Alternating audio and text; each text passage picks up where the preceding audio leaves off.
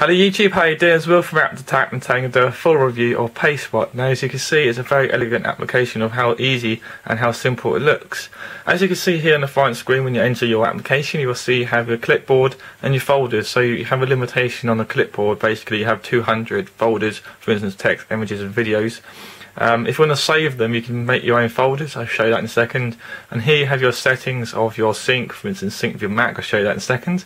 You have your background render, so if you want to you know, copy something, it'll render in the background, um, so it won't make you go on the application all the time. Uh, you have import location, so if you're somewhere and you want to put your location, you can do so by here. You have your sounds and the tech links, and a bit more uh, about support and about. Now, as you can see here, you're going to go and press clipboard so you can get your, um, you know, recently copied, um, you know, text. So as you can see here, it looks very simple to use.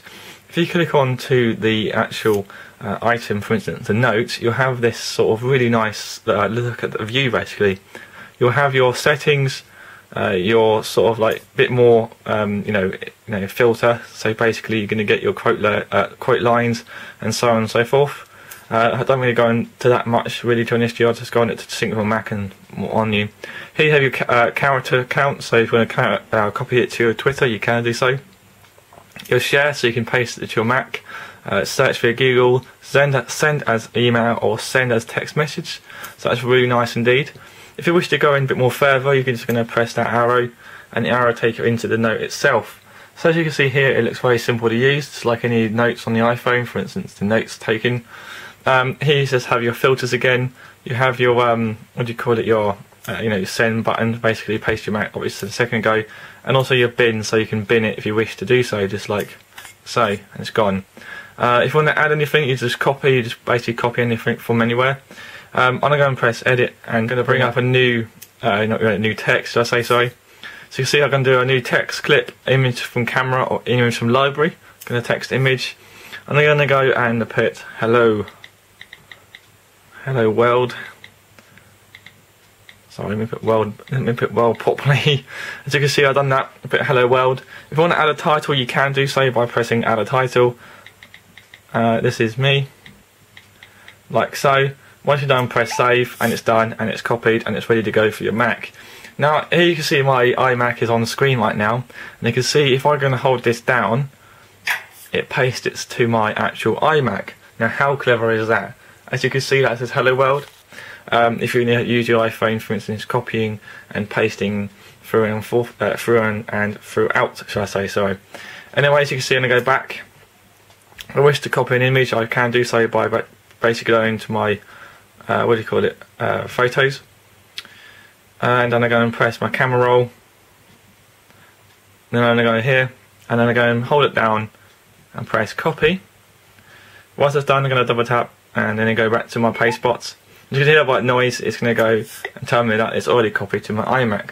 So if I want to go a bit more editing on there, I can do so by pressing like that. Press filters and you can make it a bit more interesting. Basically you have your brightness, convert to black and white, invert uh, saturation and sepia.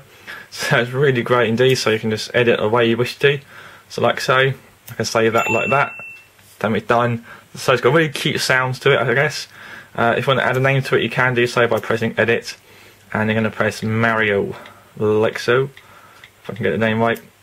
Mario, and it's done there like so. Basically, it's exactly the same as, um, you know, basically, uh, you know, text that it just hold it down and it should add it to the iMac. If it doesn't do it the first time, then it's probably because it's syncing to your iMac as it's actual file image. See, as you can see there now, it's actually added to my iMac. Make it more bigger so I can prove it to you. As you can see, it's already done to my iMac.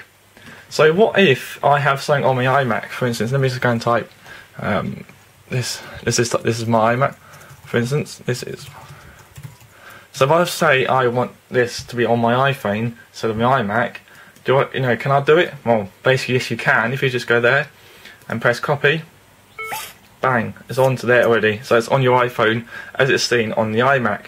So it's really, really, really great to use. You know, this application it's so simple and very fast to use. So what if, for instance, you know, you know, how do I get this to sync? For instance, now that is more simple than said and done. You go on the website, you download this for free. Uh, and basically it downloads and goes into your system preferences, goes in Pastebot Sync. So basically, it's just like um, you know any other application you have on your iMac, and it's going to get this really simplistic you know uh, review here. So it gives you the text copies, it gives you image copies, uh, data sent and data received. So it gives a bit of history of what's happened in statistics and what have you. Yeah, note me when the updates are available, so you can software updates. Uh, show pass, uh, sorry, show Pastebot sync status in the menu bar. For instance, when it syncs, it shows you, um, you know, it's rendering basically. You can have it on or off if you wish to do so, or if you want to remove the device, you can do so for another iPhone or iPod Touch, like so and so. Unfortunately, it's not for the iPad just yet, unfortunately, but then again, they probably update it in a later version. But anyway, that's the application of Pastebot, and I hope you really enjoyed this applica- uh, you know, application review. Anyway, my full review will be on my website very soon, um, and I really do hope you enjoyed the review. Anyway, I hope to see my next future videos, and thank you very much for watching. Goodbye.